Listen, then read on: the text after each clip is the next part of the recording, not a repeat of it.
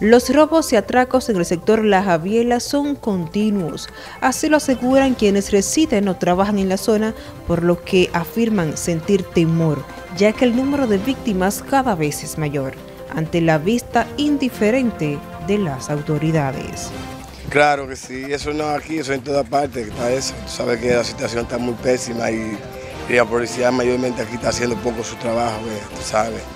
Claro que sí, pues es un terror que uno tiene nada en la calle, que uno no puede prácticamente confiar en nada. Yo que ando mucho a diario en la calle, de pueblo en pueblo, ya atemorizado. Yo me estoy orinando eh, de miedo. Yo me acuesto a las 6 de la tarde, aquí no puede pasar, atacaron a una mujer allí que, está en motor y allí atacaron un viejo allá, le quitan, le dieron un estallón, le quitan el celular, pero aquí no puede vivir, por aquí no hay inseguridad completa. Aquí ocurre mucho porque parece que antes de ayer Supe que le llevaron una cartera a la señora, la estrellaron, ¿sabes? Son cosas que uno ya tiene temor de salir de la casa, mire. Bueno, esta es una zona un poco peligrosa, pero hasta ahora me siento aquí un poco seguro porque llevo 15 años aquí de servicio y nunca me ha pasado nada. Malla, ¿verdad?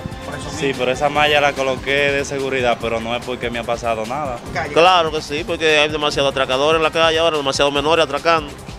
En cámaras quedó grabado el momento en que un individuo que se desplazaba a bordo de una motocicleta le robó una cartera a una señora cargando así con más de 150 mil pesos. Eso fue el pasado fin de semana en este sector. Joanny Cordero, NTN, su noticiero regional.